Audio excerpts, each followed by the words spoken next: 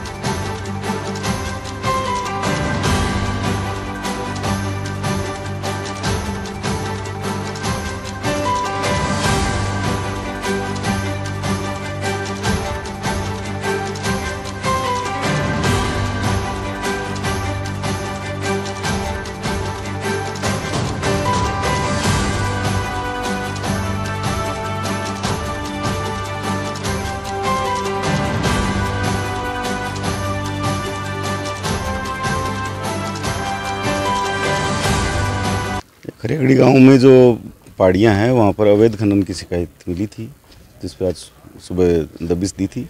दबिश के अंदर दस बारह ट्रैक्टर थे तो कुछ भाग गए और पाँच ट्रैक्टर भी पकड़े हैं, जिनको थाने पर ले जाकर के नियमानुसार कार्रवाई करेंगे।